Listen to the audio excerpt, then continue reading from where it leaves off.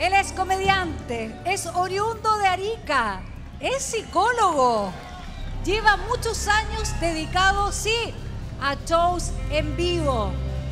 Tiene Espero Master en los podcasts.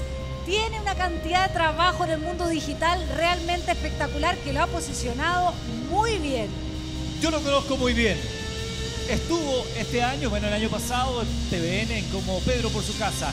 El año pasado estuvo sentado acá acompañando a Luis Slimming, su compañero, en el sentido del humor. Y hoy se invierten los roles.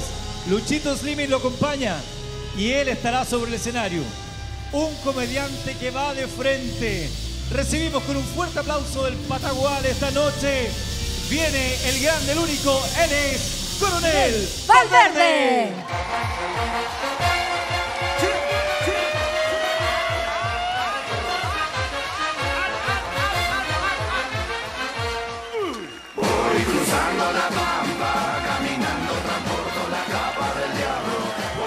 Buenas noches. ¿Cómo están los pataguales? Mira, Marcelito, lo más grande, y no hablamos de tu cuerpo. ¿Cómo es eso? Muchas gracias, ¿cómo estás? Gracias por la presentación. Buenas noches, ¿cómo están? Me presento. Mi nombre es Marcelo Valverde. Estoy casado. Ya tampoco para mentir, no. si me estoy viendo en las cámaras también yo. No, de verdad, mi nombre es Marcelo Valverde, estoy muy emocionado de llegar aquí a este festival, a este gran festival. Yo vengo de Arica, no es fácil salir de Arica. Aplauso para Arica. Yo vengo de Arica, de verdad no es fácil salir de Arica. Entrar está la papa, pero salir no es fácil. Chucha. Nombré a Rica nomás, se puso rico el tren de Aragua, con ¿qué pasó? güey? ya no puedo hablar más de esto porque va a salir Rodolfo Carter a huellar. El, ya. Oiga. si no está, no está, no está. Nos encargamos de que no se acercara. Yo soy psicólogo de profesión. ¿Tenemos psicólogos aquí por casualidad? Hay más ariqueños que psicólogos. ¿Qué pasó con la salud mental aquí? Yo soy psicólogo de profesión y como soy psicólogo tengo esa formación profesional de que siempre ando criticando a la gente que usa mal los términos psicológicos, que pasa harto para justificarse, a veces de confundido. Por ejemplo, esa gente que dice, no, que soy ansioso, no, que yo soy ansioso, si es la ansiedad, a mí me pasa por la ansiedad porque soy ansioso. ¿Qué pasa eso? No es la ansiedad. Eyaculador precoz, siempre ha existido eso. O esa gente que se confunde. Un amigo el otro día me acuerdo que me decía, Marcelo, parece que soy bipolar, weón. Parece que soy bipolar, weón. A veces me gusta el hombre, a veces las mujeres. ¿Y quién es uno va a andar eh, justificando, criticando, corrigiendo? Me lo agarré callado nomás. Pero si quién es uno para corregir. No, pero me rendí. Me rendí de andar criticando a la gente, de andar corrigiéndola. Me rendí hace un buen tiempo ya.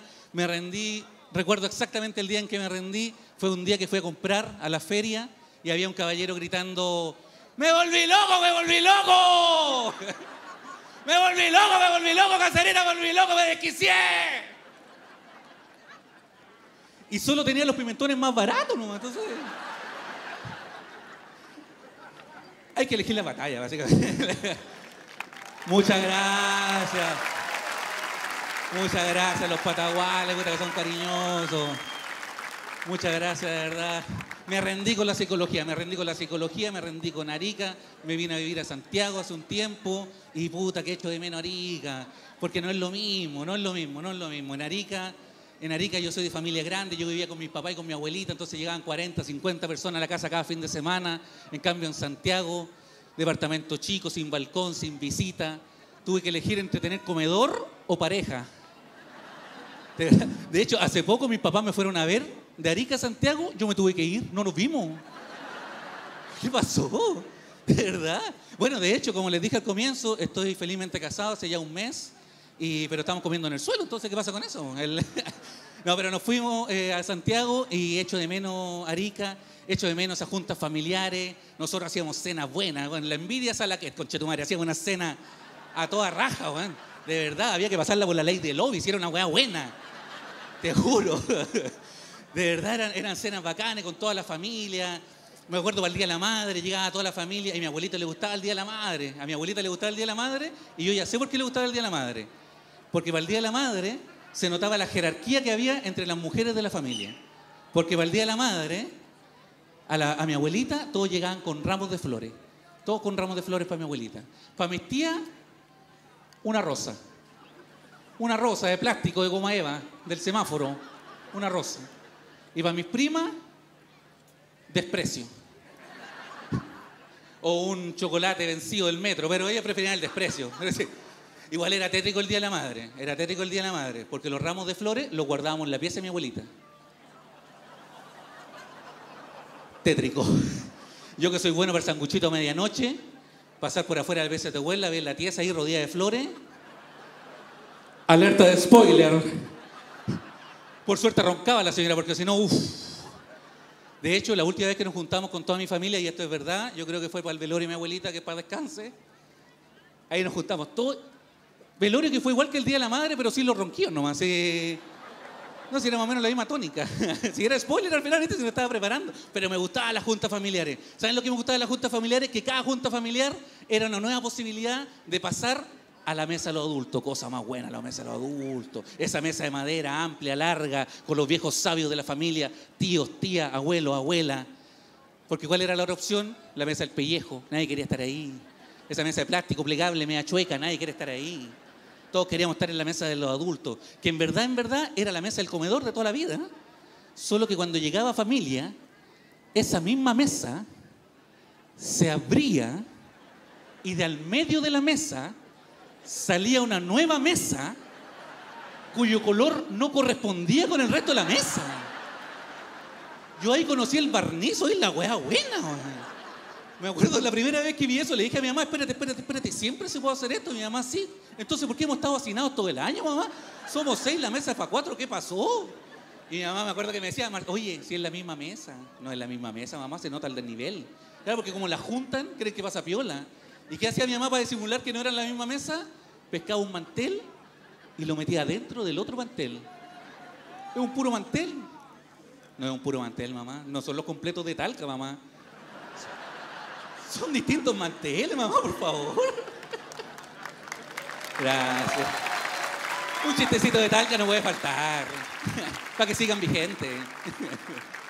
No son los mismos manteles. pues Si el mantel de la mesa de los adultos es un mantel blanco bordado a mano, maravilloso, que ni siquiera es un mantel, es el mantel. Que cuando tu mamá te dice, Marcelo, el mantel, tú ya sabés que viene familia. O que se murió tu abuela, una de dos. En cambio, el mantel de la mesa del pellejo es un mantel que yo nunca lo he visto llegar a una casa. Es un mantel que yo nunca he visto que alguien lo compre. Es un mantel que no se crea ni se destruye, solo se transforma. Es un mantel que ni siquiera se sabría decirte si es sintético u orgánico. Porque es un mantel que por un lado es de plástico,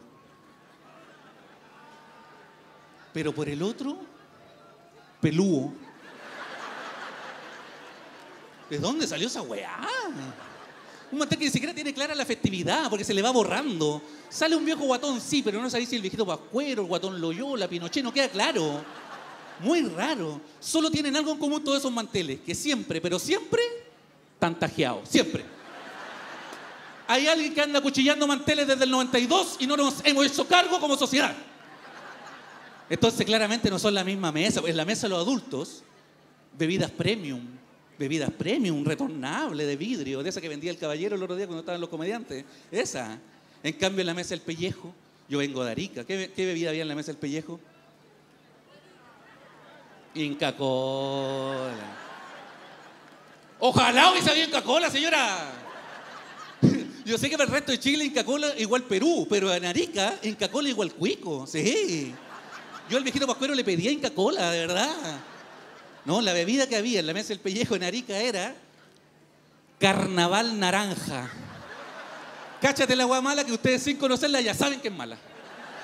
Carnaval naranja. Tú tomás carnaval naranja, tres días cagando aspartamo. El plantel de Cobreloa completo.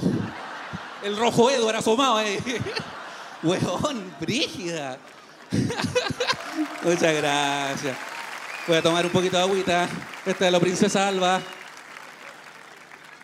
Ah, Denis Rosenthal tiene el mismo. Makes. Oigan, de verdad, ustedes no saben cuánto daño ha hecho la carnaval naranja en Arica. Si en Arica no somos morenos, somos naranja. De verdad, de verdad. Si algún día ustedes van a Arica, Dios no lo quiera, en el water, de verdad, en los water hasta el día de hoy queda una aureola naranja. De verdad, que no sale con nada, con nada. O sea, salía con una pura cosa. Carnaval piña. Corrosiva. Entonces, claramente no son la misma mesa. Pues en la mesa de los adultos, en la mesa de los adultos, buffet de ensalada. Buffet de ensalada. Porque así el privilegio de los adultos, para que no se tengan que parar. Me acuerdo que había tomate, lechuga, poroto verde, otro tomate, otra lechuga, otro poroto verde y en el fondo unas habas con cebolla. A nadie le gustaban. Las pobres habas con cebolla llegaban con alusa, se iban con alusa. Yo una vez le hice una trampa a mi tía, le rayé la luza. Siguiente cumpleaños, la misma luz. Pero por lo menos había variedad, porque en la mesa del pellejo, ¿qué ensalada había? ¿Quién dijo papá mayo? ¿Allá? ¿Quién? Perdón, vamos a cortar un poquito el show. Puta, lo estamos pasando tan bien, weón. Perdón, yo sé que vamos a cortar los tiempos y todo, pero puta. Oye, ensayamos tantas veces esta rutina y no sabía que yo... Ah. Amiga, la papa mayo no es, no es, algunos ya se están dando cuenta, no es ensalada, es acompañamiento. María Luisa, guarnición. Hueito, agregado. Pero no es ensalada. Y vaya, y vaya que ha intentado ser ensalada. Y es verdad que en un momento de nuestra historia reciente le permitimos a la Papamayo ser ensalada. Era comienzo de los años 90, nos estábamos reconciliando como país y dejamos pasar algunas cosas. Es verdad. Pero no es ensalada. Y cuando nos dimos cuenta de nuestro error, le dijimos, Papamayo, tú no eres ensalada.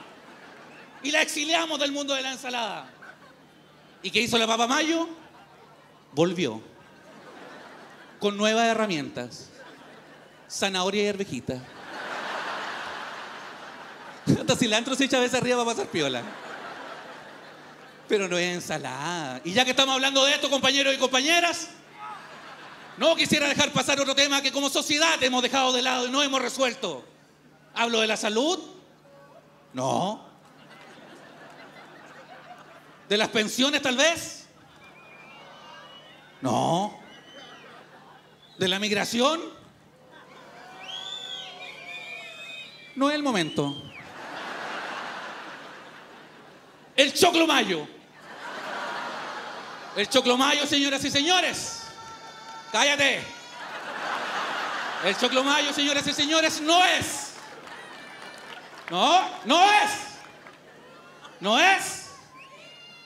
Que no. No es. No es. No es. Poquito, pero no es. Alimento.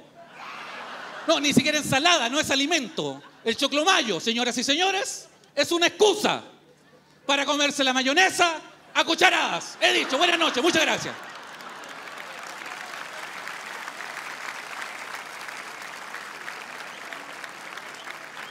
Hoy perdón el exabruto, man. No, a la amiga, oye, ojalá hubiese habido papa mayo.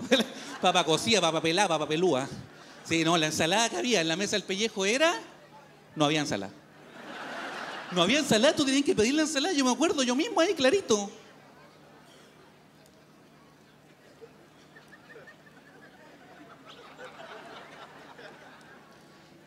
Mami. Mami. Tomate. Es que hay pollito con arroz. No, habas con cebolla, no, mamá, tomate. Es que hay. La papa baño no es ensalada, mamá. Tomate. Y mi mamá, una voluntad de oro que tenía.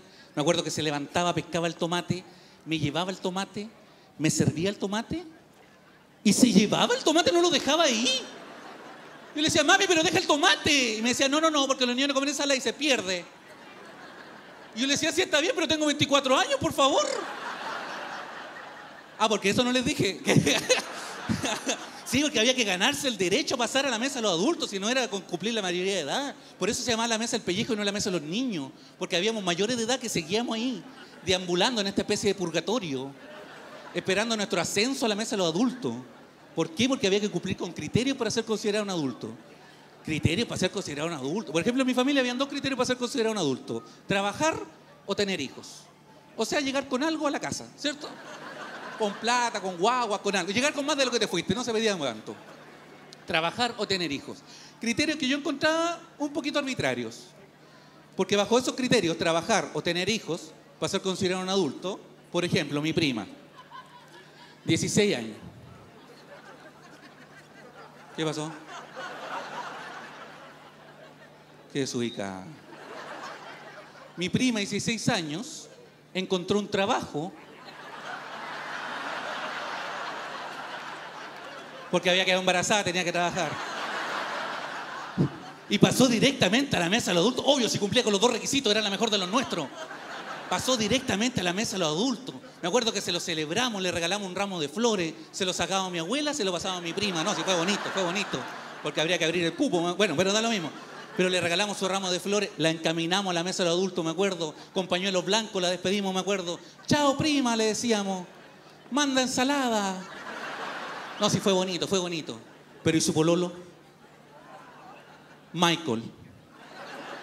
16 años también. Nadie en la familia lo conocía. Ni mi prima. Porque fue algo fortuito que partió con el embarazo y tiene una linda relación hasta el día de hoy, que nos acompañan aquí esta noche. El- No, mentira, no están. Pero, pero, pero Michael, primera vez que lo presentan en sociedad, primera vez que llega a la casa y pasa directamente a la mesa. Pero imagínense cómo me sentí yo, la rabia que me dio. Pero ni siquiera por él, por mí. Cuando me veo a mí mismo ahí.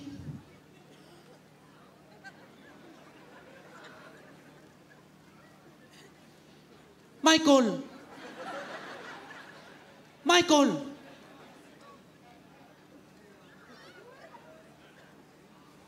Embarázame.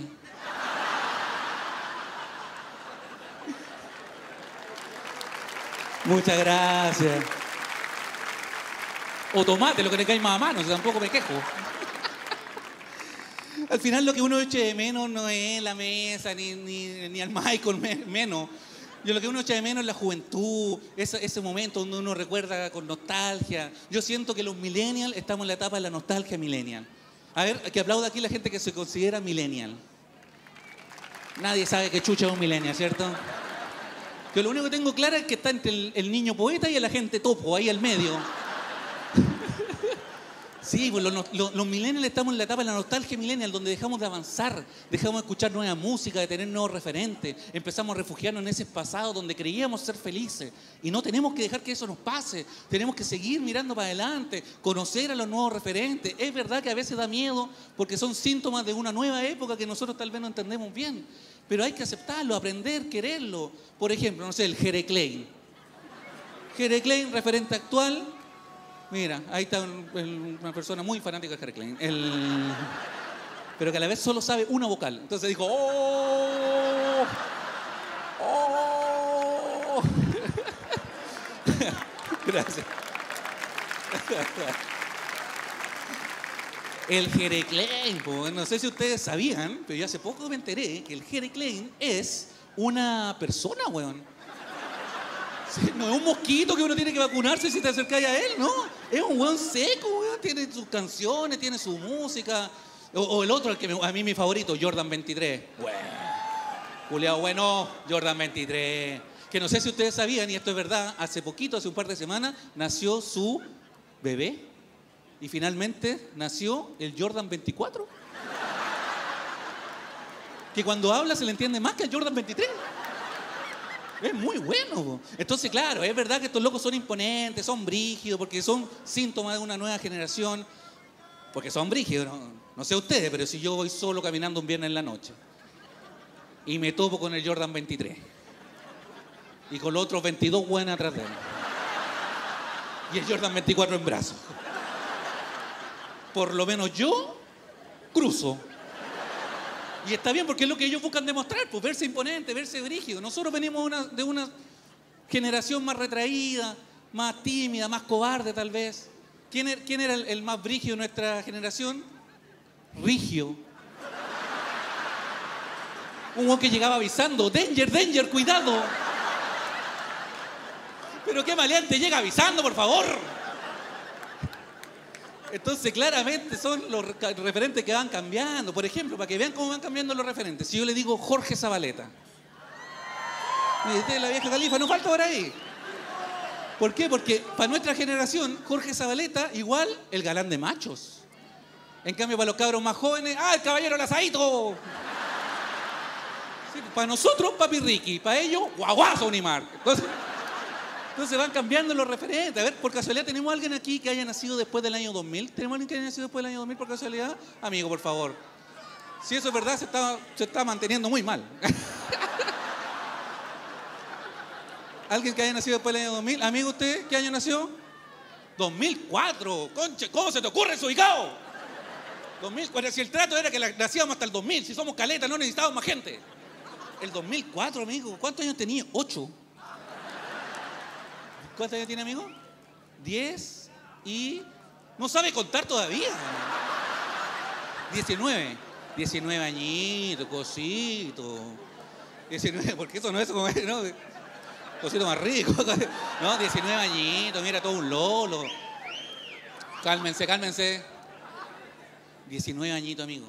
Yo soy de la generación, yo soy de la, de la generación que, se quedó estancada y creo que tenemos que aprender de los, nuevos, de los nuevos jóvenes y sus nuevas costumbres y sus nuevos referentes. Pero a la vez, soy de la idea que la gente que nació después del año 2000 le falta vivir algunos hitos, algunos eventos canónicos que vivimos nosotros que forjaron nuestro carácter.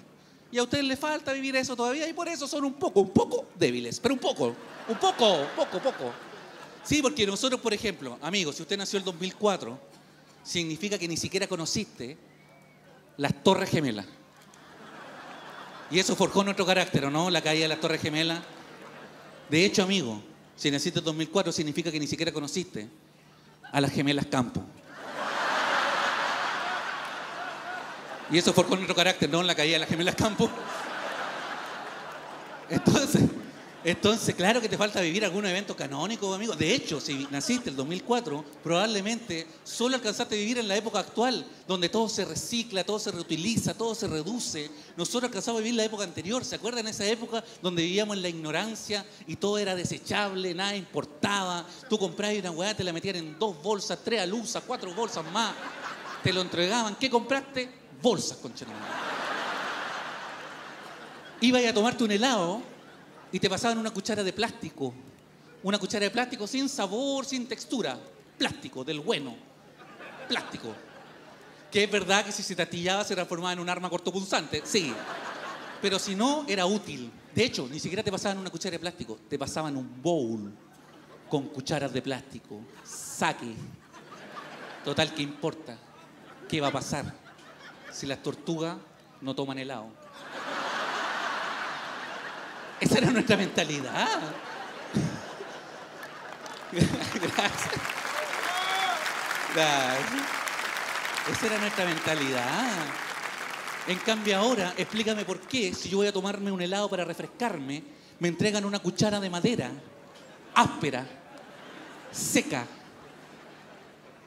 que entra sin problema, pero sale absorbiendo todo el líquido de tu cuerpo. Pero sale... No tiene razón de ser. Y de hecho, puedo ir un poquito más allá. Antes teníamos bombillas de plástico. Bombillas de plástico que yo sé que duran miles de años, no son reciclables, no son biodegradables y por eso se tuvieron que extinguir. Pero dos cositas. Uno, yo estoy seguro que hay una correlación entre la eliminación de la bombilla de plástico y el aumento en la tasa de ansiedad de los chilenos y chilenas. Porque antes, cuando tú tenías una bombilla de plástico y estabas estresado, fácil, mira, ¡Oh! ¿Cómo me relaja? No es suficiente, no importa, mira. ¡Oh! No es suficiente, no importa, mira. ¡Oh! ¡Relajadito! Entonces, gracias. Gracias. Entonces, claro, yo entiendo. Hay que apurarse acá porque no voy a alcanzar a hacer la rutina completa. No, de verdad. Entonces, explíqueme. Ya, yo entiendo. La bombilla de plástico dura miles de años y no es biodegradable, no es reciclable. Tuvieron que inventar otra bombilla, es verdad. Inventaron la bombilla de cartón. Está bien. Tranquilo. No hay ninguna bombilla de cartón, tranquilo, está todo protegido aquí. Ninguna bombilla de cartón les va a hacer daño. Pero explíqueme por qué. Está bien que no dure miles de años, pero no había término medio. Porque está bien que no dure miles de años, pero no puede durar un mojito completo. Porque la bombilla, en la mitad del mojito, empieza, danger, danger, cuidado.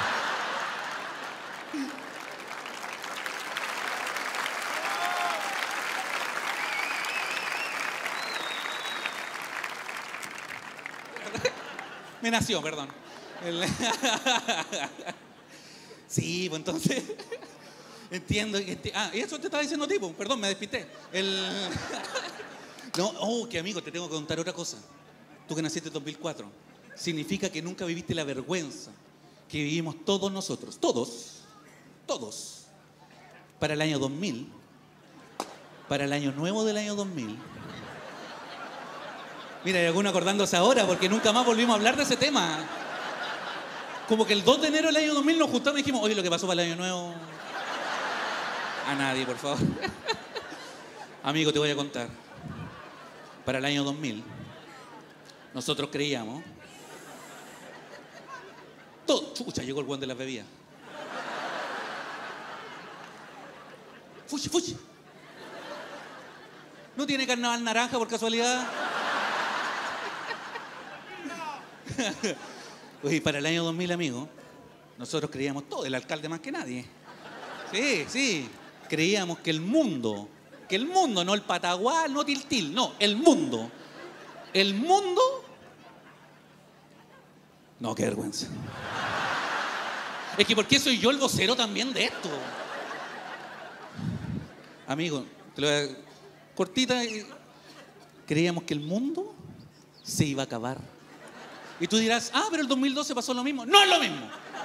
No es lo mismo, porque el 2012 habían antropólogos, arqueólogos investigando por qué los mayas habían dejado de escribir el calendario en el año 2012. Y bueno, tenían que parar algún día también.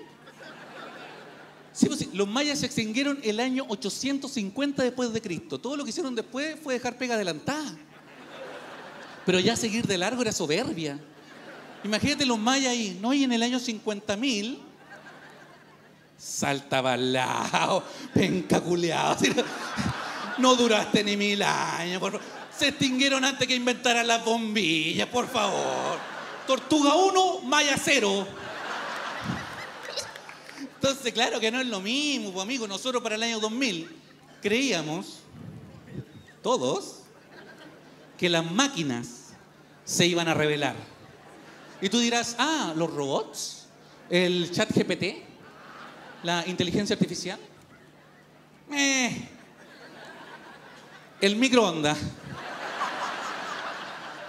Pensamos que la juguera se pone bueno y te comen la mano, imagínate. Pero eso forjó nuestro carácter. Imagínate lo tensa que fue esa cena de Año Nuevo, donde cada papa duquesa era una papa duquesa más cerca del fin del mundo. Fin del mundo que no sabíamos cuándo Chucha iba a llegar, porque habíamos desconectado la radio y el reloj. Amigo, nos abrazamos de amanecida. Entonces, explícame cómo. Que no sabéis todo lo que hemos tenido que hacer. Para que vos camines tranquilo por la calle. Oh, coche. De hecho, te tengo que contar otra cosa. A todos los que nacieron después del año 2000. No siempre, no siempre existió el reggaetón. Nosotros tuvimos que mamarme la, la época previa al reggaetón. La época pre-reggaetoniana, la época AP, antes del perreo. Donde no era fácil procrear. Ni siquiera saber si tenía onda con alguien, porque claro, es fácil, es fácil estar ahí perreando hasta el suelo durante cuatro o cinco horas, besuqueándote, sobajeándote, sudando, mezclando los sudores, las babas, y al final decir, oh, parece que hay onda. Pero ¿cómo sabíamos nosotros que teníamos onda con alguien bailando el meneíto? ¿Cómo se- no, si mira, si se mueve más para allá que para acá cuando gira, mira, si cacha, cacha. Se nota en la nalga, en la nalga. Imposible, imposible. Porque vivíamos en una época pre-reggaetoniana, donde no se perreaba, ni siquiera se bailaba en pareja, se bailaba en fila. Porque no hacíamos, eh, hacíamos coreografía, por favor. ¿En qué mundo vivíamos? ¿Por qué nos gustaban tanto las coreografías? Puta, al chileno que le gusta la coreografía. Al chileno le gusta la coreografía y los corpóreos. Y si el corpóreo baila coreografía, concha tu madre, la hueá buena, doctorcillo y presidente. Pero es muy raro. Es muy- Gracias. Gracias, gracias, gracias, gracias. Era muy raro. Había que estudiar durante la semana para salir el fin de semana. Tenía que llegar rapidito a mi casa a ver Mecano, que se supone que era el recreo de la tarde. Y si era el recreo de la tarde, porque yo estaba cuaderno en mano ahí, dos para adelante, dos para atrás, media vuelta, un poquillo más rápido. No era vida. Más encima, ni siquiera eran tan buenas las canciones, estábamos como secuestrados por las coreografías. Yo siento que al principio no nos gustaban, pero nos convencieron, como que tenían una especie de síndrome de Estocolmo, siento yo que tuvimos, que no es cuando DJ Méndez llegó a Chile. Cuando uno se enamora del secuestrador, porque no eran tan buenas las canciones. ¿Qué canciones teníamos? Mira, El baile del pescado, La batidora, La mayonesa, La banda chocolate, Café con leche. Chucha, sal de la cocina para que se te ocurra otra weá. Y ni siquiera, ni siquiera ha cambiado tanto la cosa, porque está de moda ahora el pailita, la misma weá. Gracias, pero igual. Muchas gracias. Gracias, Patagual. Así se siente, rico. Oye, y hay canciones que salvan, sí. Hay canciones que salvan. Por ejemplo, mi favorita, La Maociña. Oh, puta que era buena La Maociña. Para mí una canción subvalorada. Para mí, para mí, de verdad, está La Maociña, me equivoqué. está Bohemian Rhapsody. Así no es tan buena. sí. La Maociña y unos 3, 4 puestos más abajo, Bohemian Rhapsody, sí. Porque es muy buena la Es que la Maociña no respeta estado físico. La Maociña, tú te pones la Maociña y tú bailáis la Maociña callado. No, no te justificáis, no, no, bailáis callado. ¿Y la podréis bailar piola? Tarán, no. Como Alejandro de Mecano, ah, dándolo todo, dándolo todo. La Maociña no respeta capacidades. Yo he visto gente levantarse su silla de ruedas a bailar la Maociña, de verdad. Así de buena es. Así de buena es. Y después ya como ya, ya gusto personal, me gusta esa taca, taca, taca. Late mi corazón por ti. Taca, taca, taca. Como una máquina de escribir. Concha, tome la weá, weá. Denle un Nobel a ese poeta. Sí. Oh, perdón, perdón, perdón, perdón. Amigo. Una máquina de escribir.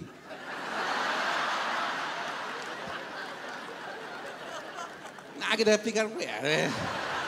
Es como un computador, pero sin pornografía. Salvo que te esfuerces muchísimo. Porque el que quiere puede, amigo. No, pero de verdad. De verdad, igual es brígido el fenómeno de Mecano, porque fue, el, yo creo, el, programa más popular en esa época. Y sin embargo, la mayoría de sus personajes como que fueron desapareciendo con el tiempo, no trascendieron mucho. Imagínate que la que mejor le fue, ahora está encerrada. Daniel Arangui, Daniel Arangui en Tierra Brava. Sí, pues.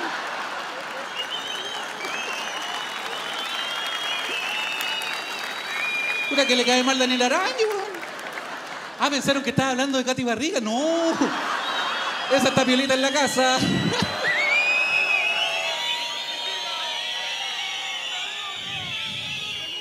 Tranquilo, si, tranquilo, si tarde o temprano se va a ir barriga la señora preciosa. Es un chiste el chavo. Oye, no, de verdad, oye, Brígido lo de Maipú, perdón que cambie de tema, pero Brígido el tema de Maipú, ¿cuánta, güey? 31 mil millones. Deja contar el chiste, pues, hombre. No, es que de verdad había un Excel con todas las weas que habían comprado. Peluche, collares, un caballo, un auto dorado. Creo que quedó una pura celda libre, la de ella. El-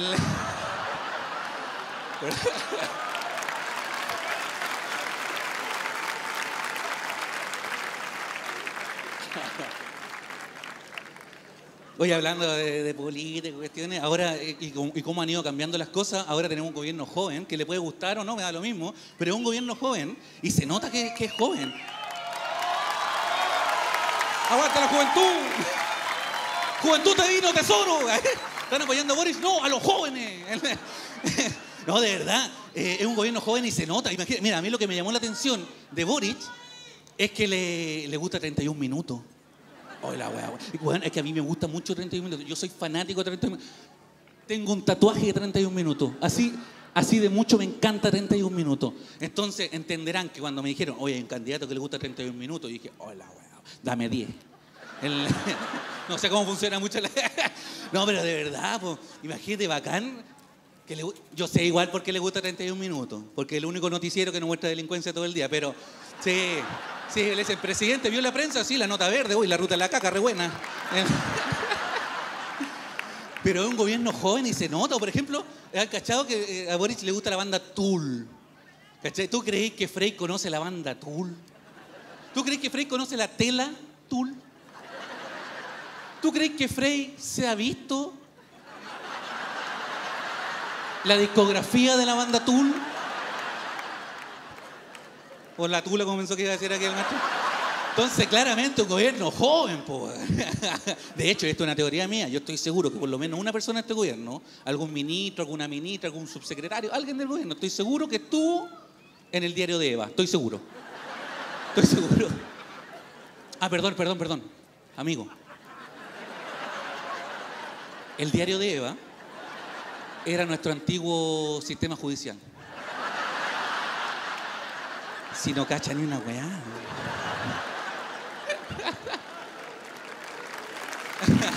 Muchas gracias. Oye, Brígido, ahora ustedes dirán, oye, este está hablando del reggaetón después del gobierno, después del diario de Eva, ¿qué weá tiene que ver? Bueno, tiene caleta que ver, po. Yo soy de la misma generación de la gente que ahora está en el gobierno, tengo más o menos la misma edad. Yo fui joven en esa edad, yo veía Mecano, veía el diario de Eva. Generacionalmente entiendo el proceso. En esa época eran los mismos, pero estaban todos jóvenes. O sea, la mayoría, George Jackson nunca fue joven, pero de la mayoría, joven, sí, sí, sí. Era como, como viejo y pingüino al mismo tiempo, como que se le cayó el pelo antes que se le cerrara la mollera. Muy raro el fenómeno. Pero, pero el resto eran jóvenes. Entonces, todo tiene que ver. Todo tiene que ver. De hecho, mira, voy a ir un poquito más allá. ¿Ustedes saben qué año terminó Mecano? Mecano terminó el año 2006. ¿Ustedes saben qué año comenzaron las movilizaciones estudiantiles?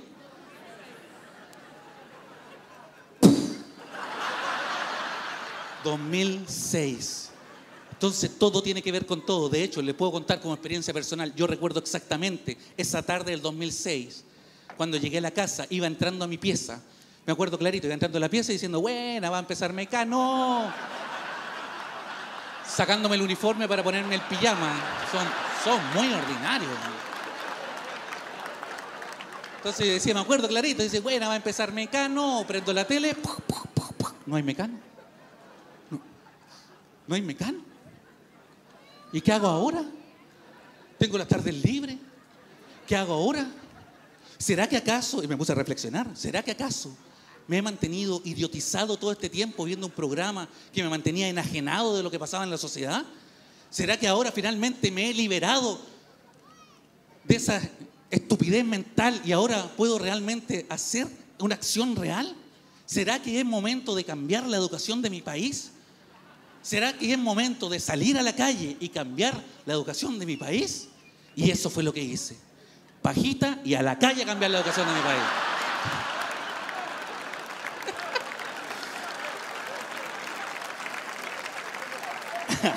¿Ven? Si todo tiene que ver con todo.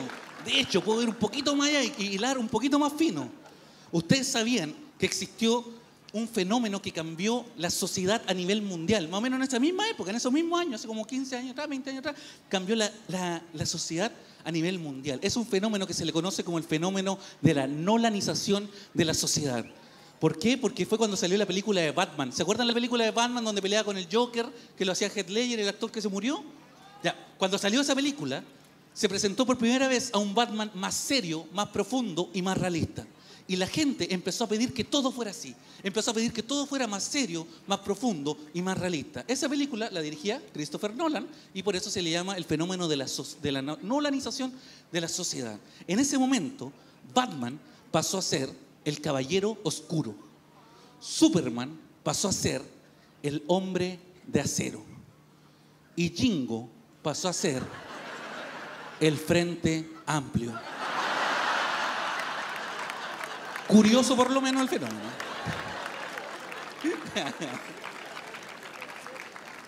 Curioso el fenómeno. Bueno, básicamente lo que yo le venía a decir es que nos demos cuenta y nos recordemos cómo han cambiado las cosas, lo rápido que cambian las cosas. De hecho, Chile mismo, ¿se acuerdan que decía Chile cambió? Ajá. Después cambió de nuevo. Después volvió a cambiar. Y después volvió a cambiar.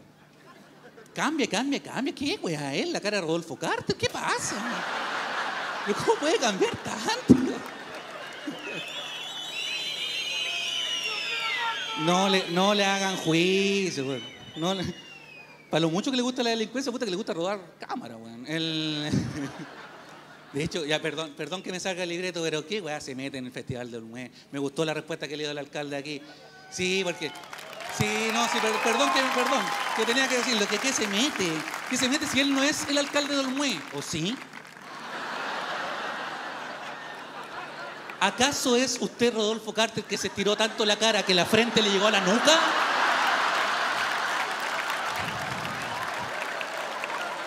Un aplauso para el alcalde, este güero.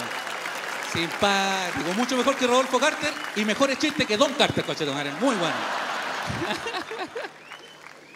Oye, ya para ir terminando, entre tanta cosa que ha pasado, se nos olvida que hubo una pandemia de dos años que cambió la vida de todas aquí. Yo le voy a contar una historia personal. A mí, eh, a, nivel personal, la pandemia me cambió la vida en muchos aspectos, porque yo me fui a vivir a Buin. ¿Conocen Buin? ¿Qué conocen de Win? El Win solo, listo, se acabó el juego. Se acabó, se acabó. Se acabó, si esa era la respuesta correcta, no hay más. No hay alternativa B, C, no. A, todas las anteriores. Sí, pues, yo me fui eh, con mi pareja, nos fuimos a vivir a Win en busca de paz, de tranquilidad, de calma, saliendo de la delincuencia, de la violencia de Santiago. Dijimos, vamos a un lugar más tranquilo. Ja, Win. Mira, todo lo que voy a decir de aquí en adelante, les juro que es absolutamente cierto, no estoy exagerando nada con el afán de hacerlos reír.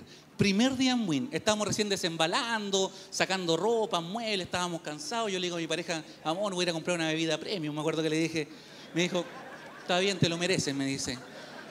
Voy saliendo de la casa y ya veo en la esquina, en el almacén de la esquina, en la puerta del almacén de la esquina, un flaco sin polera, sentado en una silla para niños, fumando marihuana. Flaco que resultó ser el dueño del almacén.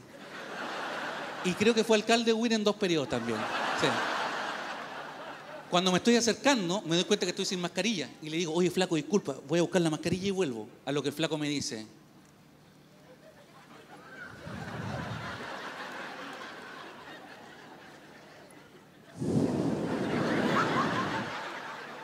Este silencio existió. O sea, yo podría haber ido a buscar mi mascarilla, vuelvo, nadie se entera. Pero me quedé esperando. Y el flaco agrega, tranquilo hermano. Si acá estamos todos locos.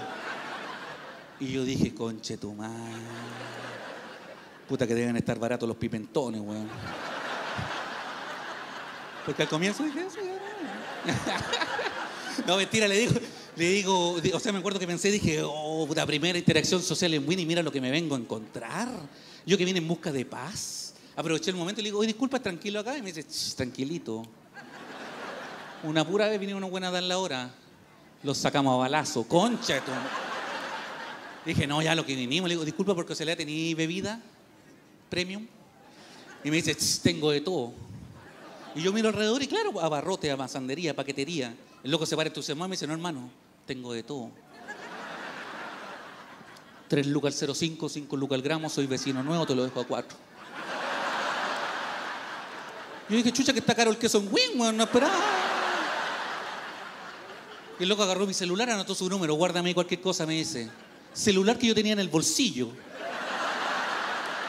Leo rápido, guárdame cualquier cosa, me dice, loco Diego. Loco Diego. Dos. Oye, no me van a creer. Al tiempo me entero que el loco Diego estaba con arresto domiciliario. Les dije que había sido alcalde, penca. Sí, puta, con arresto, sí, nada que ver. Con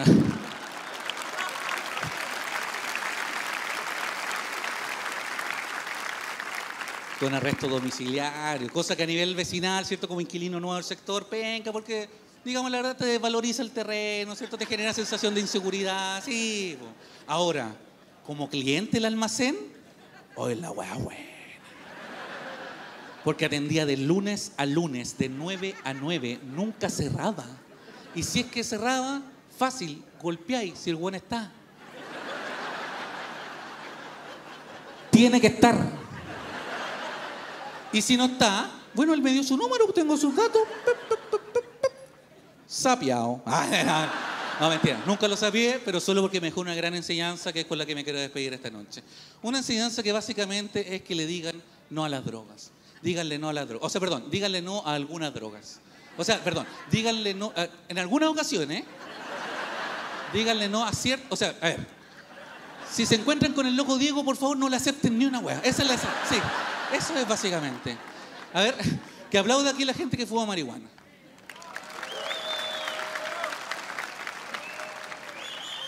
Ahora que aplauda la gente que vino al show bajo los efectos de la marihuana. Esos aplausos siempre son más lentos. A veces levantan la mano, no entienden las instrucciones. Ya, a lo que fue marihuana me van a entender, al resto le explico rápidamente.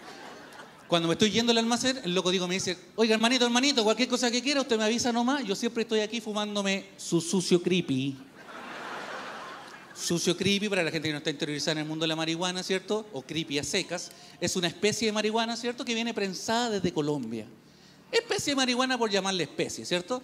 Por, por llamarle marihuana, la verdad, que viene, pero, pero que viene prensada desde Colombia. ¿Prensada en qué? La verdad yo no lo sé. Así que si alguien sabe aquí, por favor, no nos diga. Sí, no, yo prefiero morir en la ignorancia.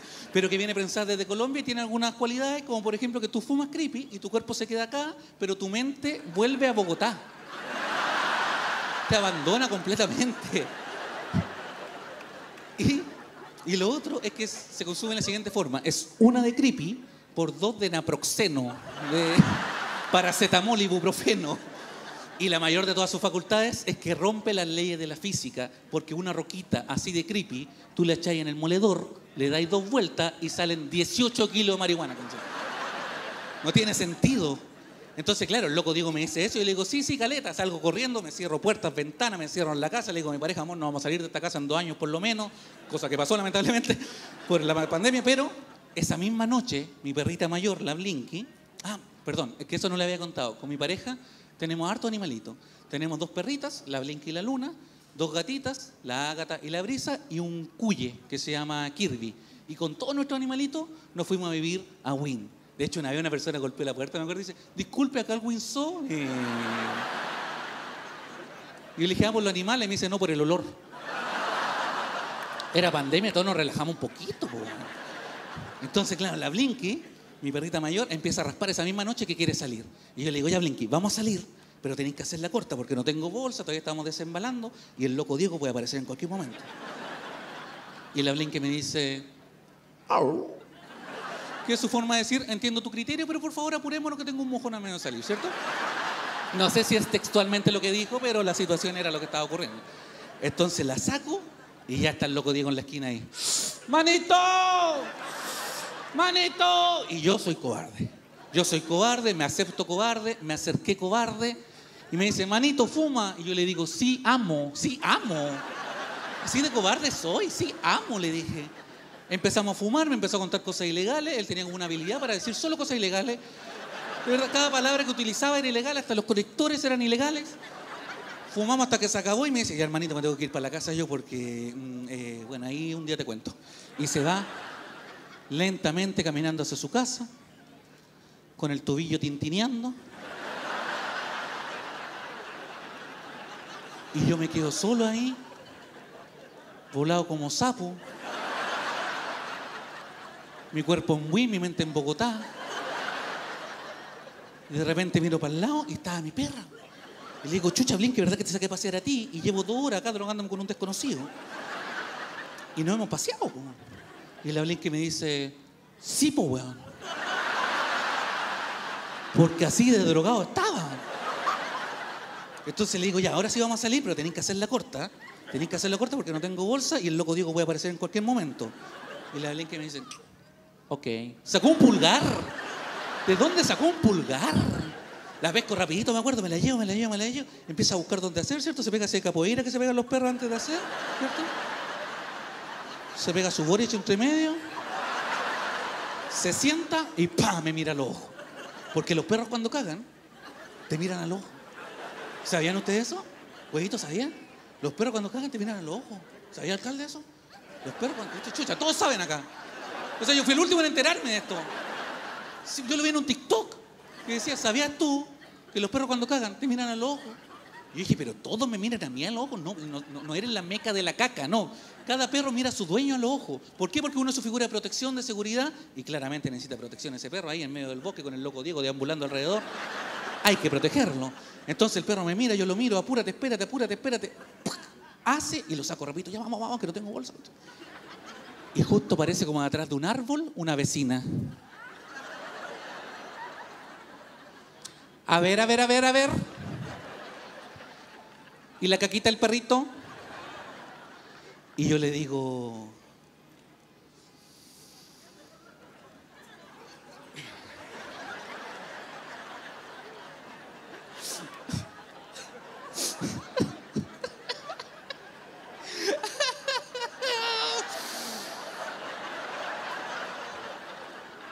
"Mm,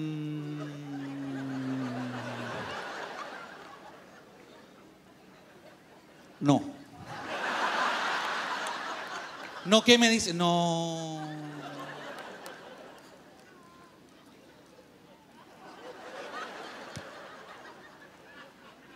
No es mío.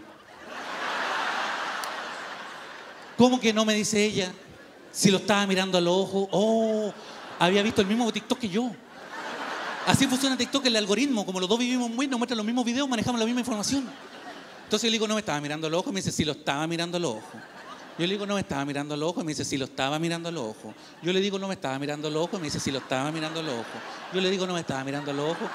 Y de repente mi perra me dice, ¿con quién estáis hablando, weón? Yo le digo, ¿cómo que con quién? Con la vecina. Y me dice, ¿qué vecina? Vuelvo a mirar, no había vecina. Y ahí como que entré en razón y vuelvo donde mi perro le digo, espérate, espérate, espérate. ¿Y por qué estás hablando tú? Me dice, ¿cómo que por qué estoy hablando yo? ¿Por qué estás hablando tú? ¿Soy un perro? Le digo yo.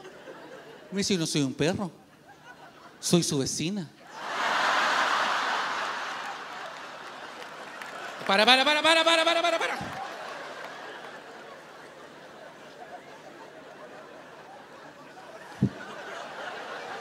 Oh, loco, Diego Culia. Eh, mm. a ver, a ver, a ver. Si usted es mi vecino y no hay perro, entonces ¿qué estoy haciendo yo? Y me dice, cagando en mi patio, pues concha tu madre. Muchas gracias amigos y amigas. Nos vemos pronto. Chao, chao, chao, chao, chao, chao, chao, chao, chao, chao. Marcelo Coronel Valverde recibe el aplauso del Patagual. Este nuevo triunfador que nos ha hecho Más fuerte ese aplauso para Coronel Valverde. Marcelo Valverde. Es verdad, esto es real, esto sí está ocurriendo, Marcelo. Triunfas.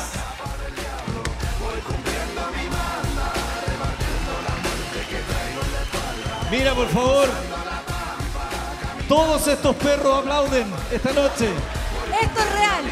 Es el caballo, es la figura guasa, el reconocimiento para los triunfadores de esta fiesta del Guaso de Olmué 2024. ¿Qué te parece la respuesta del público, el cariño que te han mostrado, además que nos ha hecho realmente de la risa? Como en el con el pasto. El- no, muchas gracias, de verdad, muy linda la experiencia. Entré un poquito nervioso, me emociono rápido, pero el cariño de usted, la risa, la buena onda, la recepción, eh, puta, me hizo sentir como en casa, como en los shows de bares para 50 personas. Acá estamos en lo mismo, así que Muy bien. Muy bien, amigos. muchas gracias. Estamos muy felices por tu triunfo. La gente te ha recibido, se ha reído, los amigos están felices acá. Seguimos, podemos seguir un poquito más. Sí, por supuesto. Un comediante de carne y sangre, el señor Coronel Valverde. Muchas gracias. En el Patagual, adelante, Marcelito.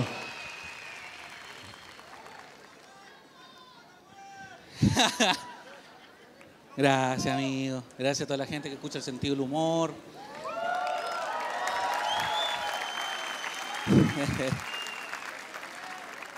Ay, ay, ay. Buena. Ya cálmate.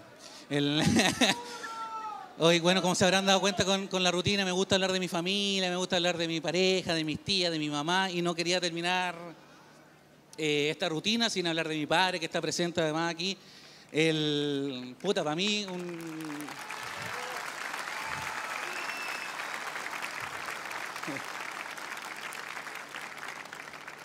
Voy a contar esto sin llorar.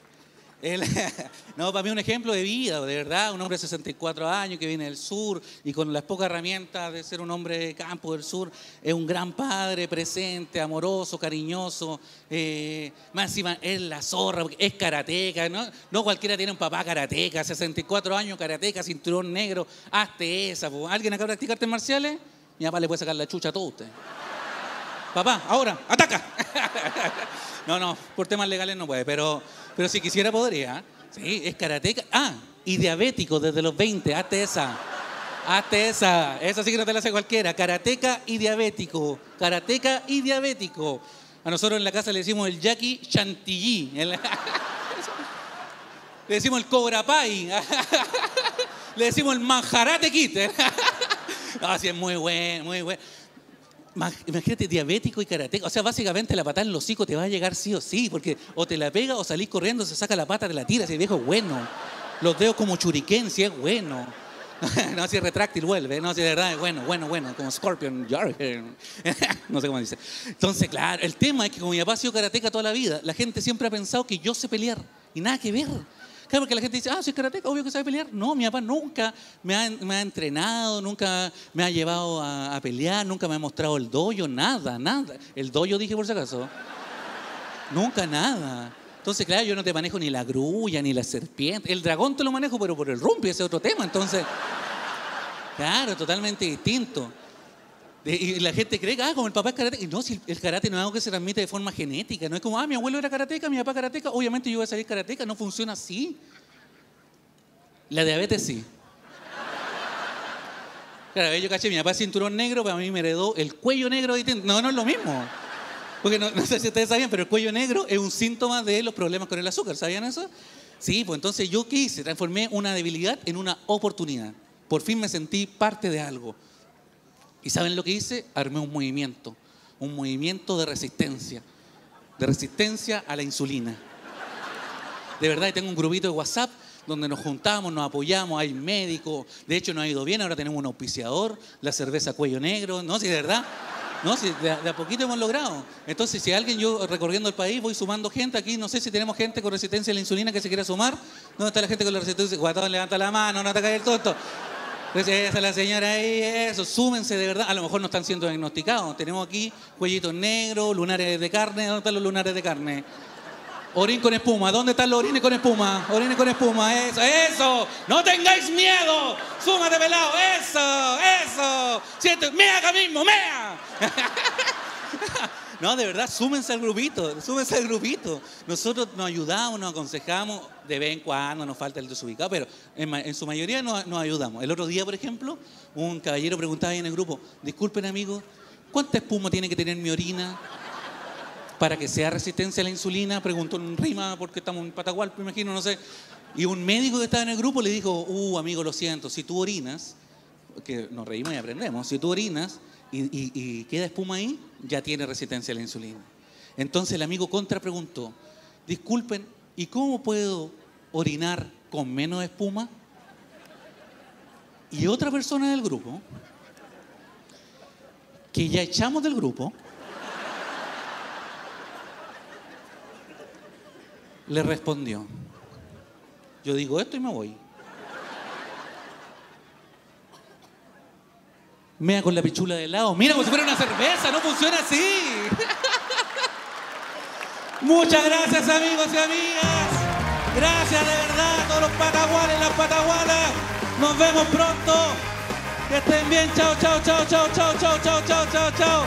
Gracias Eduardo, gracias Maestro. Gracias a todos, nos vemos. Mamita, papito, los amo mucho. Marcelo Valverde. Hermanito, nos vemos. Chao, chao, chao, chao, se chao. casó hace poquito y hoy es su, es su noche fantástica, es su luna de miel con el humor, con el público del Patagual, un nuevo triunfador en el humor. Esto está fantástico esta noche. Así es, despedimos.